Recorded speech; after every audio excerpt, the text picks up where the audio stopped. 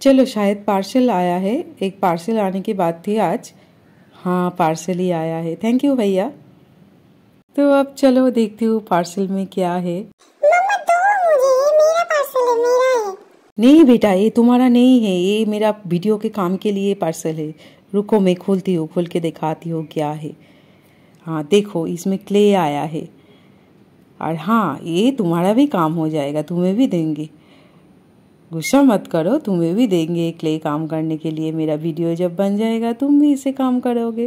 है ना? तुम सीखोगे तो मेरे पास?